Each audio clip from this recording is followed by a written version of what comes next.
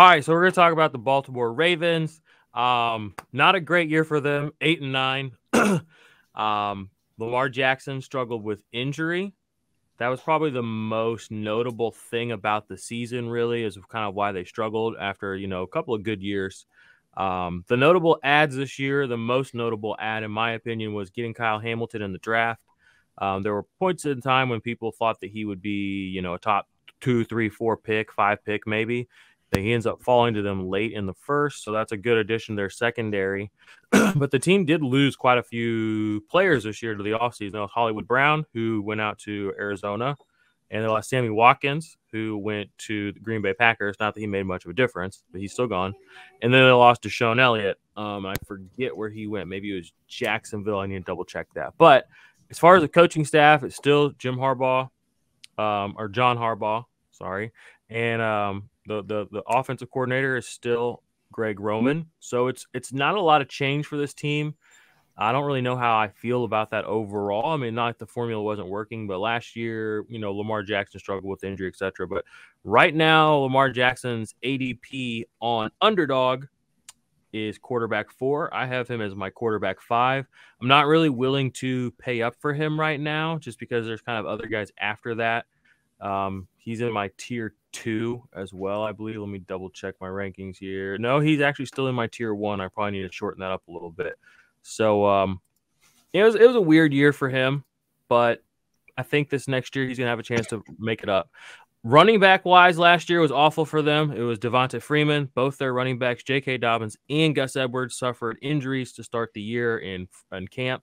So they brought in Latavius Murray, they brought in Devonta Freeman, a couple old fellas that if you've been playing fantasy football for a while, like you definitely know their names, um, but you don't probably remember them from last year. So um, right now, I'm not really interested in Dobbins or Edwards. I'm interested in what you guys' uh, take on that is. But probably the most interesting thing about this team is the pass catchers to me. It's Rashod Bateman um, and it's Mark Andrews that seem to be the primary kind of top end guys.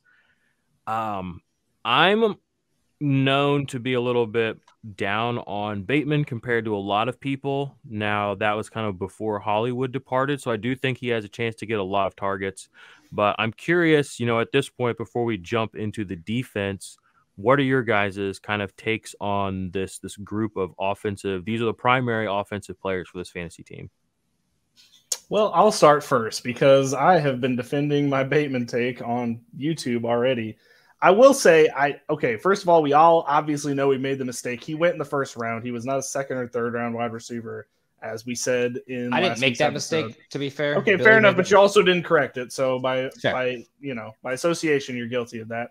And uh, also, yes, the running backs are not going to out target Rashod Bateman. I'm not. That's not what. Not my point. That was not my point then. It's not my point now. I get that. That's how what I, I said that the tight ends are going to be featured first, then the running backs, then the wide receiver. It's not necessarily how what I meant. I meant that like in that offense, the tight ends are going to get pass catching down work first. Then the running backs are going to run the ball. That's what I meant. Like they're going to get the the next batch of carries, touches in that offense, and then after all that, then the wide receivers will get some love. And that rec- includes Rashod Bateman and the bunch of others that they have filling out that roster on as a wide receiver. I think another thing that they were upset about was the fact that, or maybe they misconstrued, was the Lamar Jackson take, where you say he's the running back, you know, or whatever. Uh, or no, maybe I made that point, but I don't feel great about J.K. Dobbins. I like his ADP, I will say, um, in that like fifth round. That's the only upside to me. I mean, I think you're you could still get a better running back. I mean, Breece Hall's shortly behind him if you believe in that kind of stuff, and Miles Sanders if you're me. So personally, I think that that could be an option. I just I'm not excited about a guy who did good his rookie year and then got injured and came back to honestly a crowded backfield. So that's my biggest thing. But Bateman, on the other hand, we've already rambled about last week, and I will continue to ramble about uh, is poised for a stellar year. I mean, obviously he still has to do it. So I mean, there's that, but big fan. Yeah, Joe. I like I like J.K. Dobbins uh, to an extent. I've been kind of pumping the brakes on him uh, quite a bit.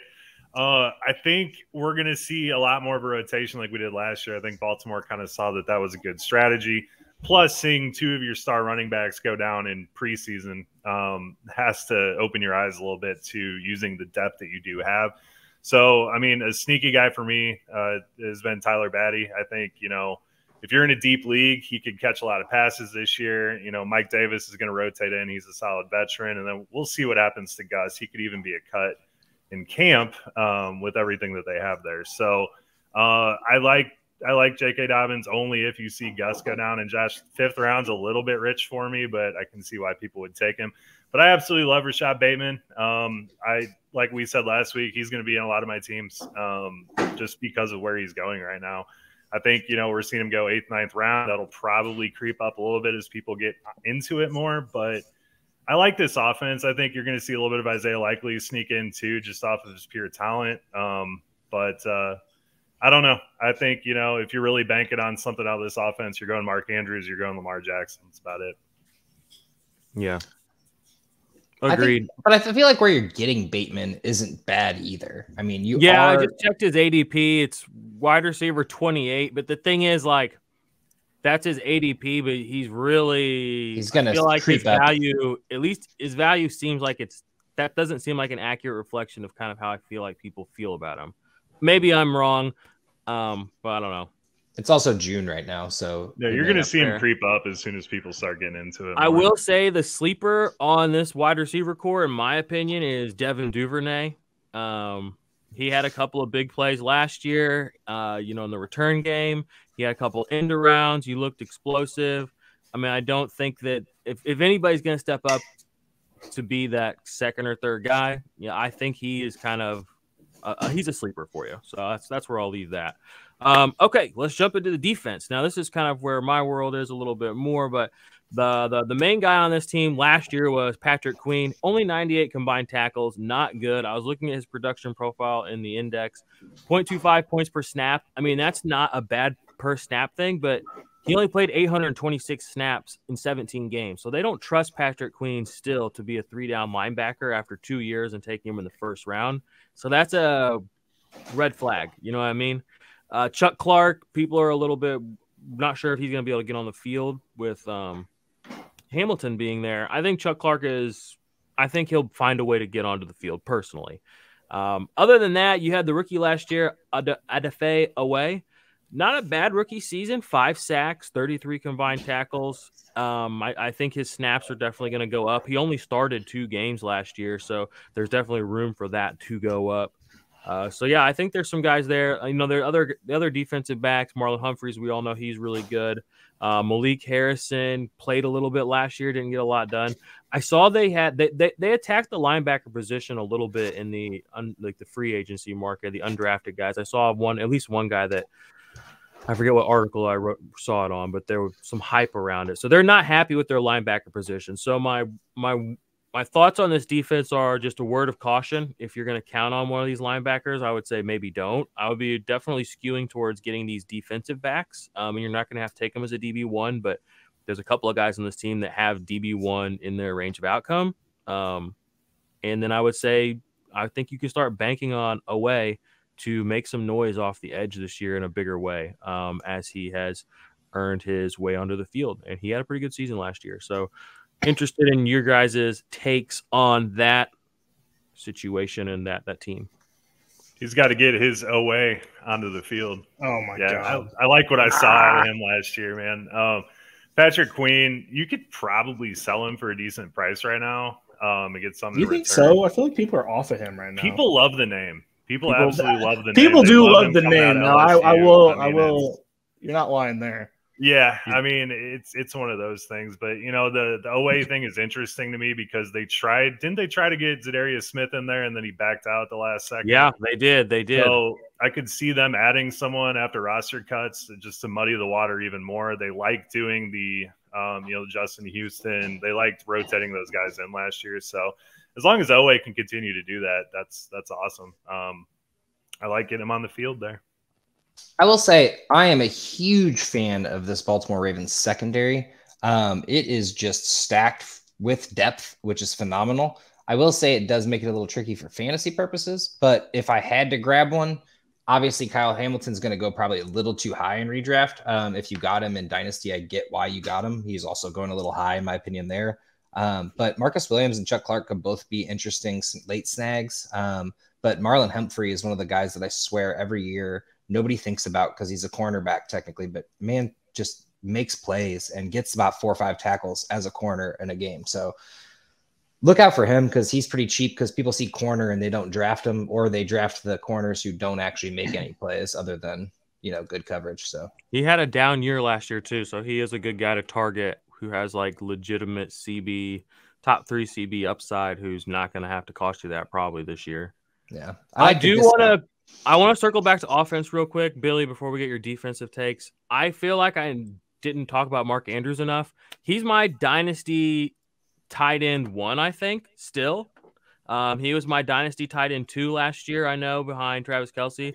I know a lot of people wanted to still want to make George Kittle and Kyle Pitts over Mark Andrews. They're trying certain people, but I'm still not there. We have several seasons, and this is at the position where nothing is consistent except Travis Kelce. But right now, we have what is it, Billy? You tell me, is it three top five seasons, top six seasons out of Mark Andrews?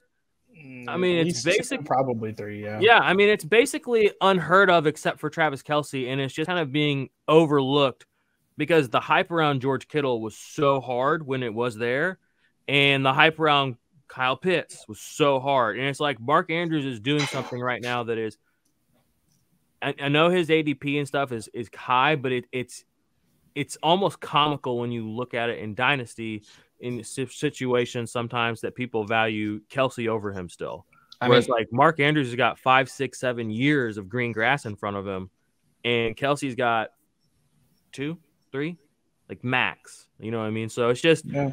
I just wanted to bring that up. If you want to get ahead of the curve, Mark Andrews, we might be talking about. I'm already talking about him like this, but in two or three years, we might be talking about him like we've been talking about Travis Kelce because he's already got some good ones under his belt, and it's going unappreciated for flavor of the week tight ends. You know what I mean? So anyway, sorry, Bill. I, I, wanted to get back to that. I wrote that on my notes that I wanted to highlight that, and I kind of glossed over it. So whoever's talking bad about Mark Andrews, they can. Well, it's not know, that people are talking bad. It's that it's like, well, Kyle Pitts is just more athletic, and George Kittle's just in the Kyle Shanahan system. And that's real good. I really like that like, voice, Jordan. Shut up. You know what I'm saying? Yeah, I've I've met that person on Twitter before, but yeah, there's a lot of them. there's a lot. Um, anyway, just uh, the only thing I had on defense was watch out for David Ojabo. I, I he's injured. He's gonna come back. He's gonna be great when he comes back. I just wanted to restate that he should not be slept on. I get that his injury is really scary for a player. Which I think is an Achilles. Um, not something that you want to have, especially when you need a good first step like he does. I get it, but at the same time, if he comes back, I would say even ninety percent of what he was, I think he could potentially take that job over um, Oweh. So, if only because also another thing is um, the new Baltimore defensive coordinator is the guy from Michigan.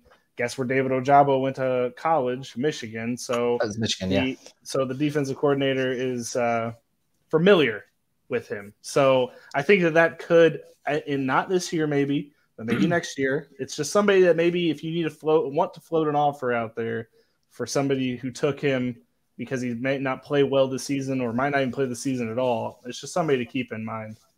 Yeah, and just a note on Ojabo in the two rookie drafts that we did, I think he went mid second in one and you know mm-hmm. early first in the other. So his name value is still getting him drafted by people, which is crazy. By the way, I yeah. thought that for sure would knock him out, but oh, I did too. But if you let him nope. rot on their taxi squad or their bench for you know five or six games, then slide in with an offer, I think that's a hell of a. Just make a note for you know October to uh, to kind of. I'm telling you, just when you're like, man, what can I do with my roster to improve next year? Just David Ojabo is one of those guys for 2023 that you may strike gold if you snag. Do you think he'll do? You think he could be a breakout player this year? I would need to see how healthy he is by training camp. I don't. I don't think he's going to play very much this season. But if he gets in at the back half of the year, maybe we see him um, get in some snaps. I would be His interested to see how April, he recovers. Isn't it? Yes, it was right before the draft. Torn Achilles, so yeah. He I mean, yeah, that's tough. It, it, would be late in the season, mind you. Yeah, you're late, right. You're right. But you're right. I would still good like stash. to see how his recovery's coming along. Good stash. Good stash. All right, twenty minutes on that first team. Um, IDP Army, Possums. Drop us some comments and some uh, some love or hate on Twitter. How you feel about how we covered the Baltimore Ravens? Yeah, but we still need to go through the schedule. So Joe, spout us a Baltimore Ravens schedule. What's the over under on them? The over under on the Baltimore Ravens is nine and a half games. Okay, so we're going to start off with the New York Jets. Then win. week two, Miami Dolphins, Probably New England Patriots. Probably a win. Buffalo. Probably. That's a loss. Loss. Cincinnati. Probably a we loss. got New York Giants, Cleveland Browns, Tampa Bay Bucks, the Saints, Panthers, Jags, Broncos, Oops. Steelers, Cleveland, Atlanta, Steelers, and Cincy to round it out. What? When's our first game against Cleveland? I felt nine games in there. Seven. I'm taking seven. the under. Hmm. I will take the under based on if they were to play Cleveland in those first four to six games, they're easily missing out on Watson because I think he's going to get suspended. Um, but yeah, that's tough. They have some. Well, really I mean, even if games. he came back week seven, I don't think they're gonna, you know, first week back after not playing since 2019. I just that would be shocking for him to come in and just light it up. He could do it. It's just awesome. it would be it'd be shocking. But I don't know. This one, this one. I mean, Vegas obviously, you know, they make their money off stuff like this. Very close. I mean, I counted nine in there for sure. Uh, it's that tenth win in there that it's going to have to get a little fluky. That they may maybe a game that they wouldn't have I normally won is what they're going to have to do. But that's a good line. It is a good line. So Jordan, you're under. Josh, you seemed under. I'm gonna go with under just because that receiving corps scares me a little bit. And you said nine and a half on nine nine and a half. Yeah. What you think? Wow. I'm gonna go I, over just because they have Justin Tucker, so you know he's gonna hit. He's oh, gonna get at he's least. He's gonna break his own damn record. All right. Well, I'm gonna go over as well, just because, in my opinion, they only need one fluky win in there to go over, and if they don't lose to the Bengals twice, I would say that's one of those two wins. So. We also didn't talk about Justin Tucker enough because uh, he's the best kicker in the league, and that's all I. Have.